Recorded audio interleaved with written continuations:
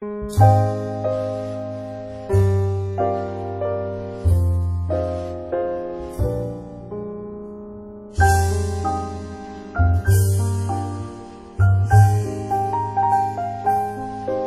வந்து சிகப்பு கலர் சட்டை போட்டுக்கிட்டு காக்கி கலர் வேஷ்டி கட்டியிருந்தாரு.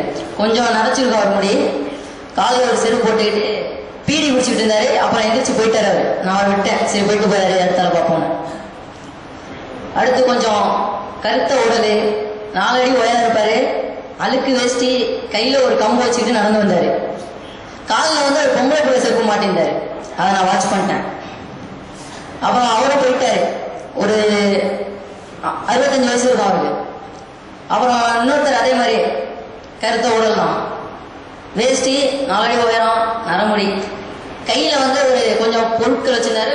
சைடு வந்து வெள்ளை கலர் பேகு இன்னொரு சைடு வந்து கோடாரியை மாட்டிக்கிட்டு போனாரு. பஸ் ஸ்டாண்டுக்கு பின்னாடி போயிட்டு ஒருத்தட்ட பேசிட்டு இருந்தாரு. அப்புறம் வந்து பக்கத்துல மரமெல்லாம் கிடந்துச்சு. அதை எடுத்தாந்து போட்டு அவரே உடைச்சாரு.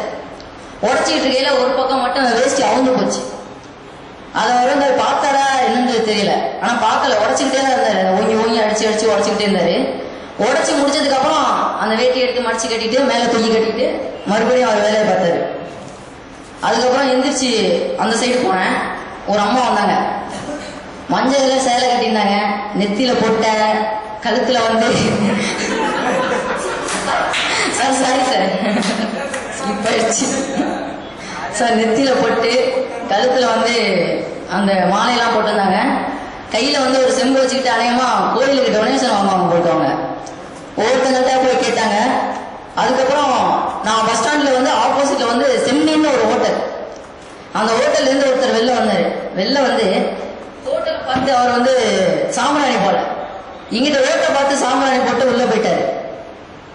அதுக்கப்புறம் லாஸ்டா அந்த ஹோட்டல்ல வேலை பார்க்குற ஒரு அம்மா மரத்தெல்லாம் எடுத்து அடிக்கிட்டு இருந்தாங்க. கட்டையெல்லாம் விறகு கட்டையெல்லாம். ஒன்று காலில் விழுந்துருச்சு. அப்படியே ஓரமா உட்காந்துட்டு அப்புறம் மறுபடியும் அவங்க வேலையை பார்த்தாங்க. நான் பார்த்தது பழக்கடை வச்சிருப்பாங்கல்ல அவங்க. ரயில்வே ஸ்டேஷன் வாசல்ல அவர் ஒரு பழைய கைலி ஒரு பழைய சட்டை லைட்டாக நரைச்ச முடி லைட்டாக தாடி அப்படி வச்சுட்டு பழக்கடையில் இருந்தார். ஃபஸ்ட்டு இந்த பழத்துக்கெல்லாம் பழத்துக்கு மேலே தண்ணி தெளிச்சாரு. ஏன்னா பழம்லாம் ஃப்ரெஷ்ஷாக இருக்கணும் அப்படின்ட்டு. ஏன்னா ரோட் ரோட்டில் இருக்கு அப்படிங்கிறதுனால இந்த தூசிலாம் வந்து படியும் அப்படிங்கிறதுனால ஃப்ரெஷ்ஷாக இருக்கணும்ட்டு தண்ணி தெளிச்சாரு. அவர் முகத்தில் கொஞ்சம் ட- கொஞ்சம் டயர்டாக இருந்தார். தூக்கம் அரை தூக்கத்தில் இருந்தார். மாத்திரை தெரிஞ்சது. அந்த மாதிரி தண்ணி தெளிச்சுட்டு அந்த பழத்து மேலாம் தண்ணி தெளிச்சுட்டு போய் அவர் சேரில் உட்காந்தாரு சேர்ல வந்து ரோட்ல போறவங்க பார்த்துட்டே இருந்தார் அப்படியே.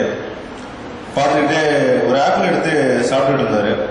அந்த அவர் வச்சிருந்த கடையில் வச்சிருக்க ஒரு ஆப்பிள் எடுத்து சாப்பிட்டுட்டு இருந்தாரு. டேஸ்ட் பார்த்துட்டு இருந்தாரு.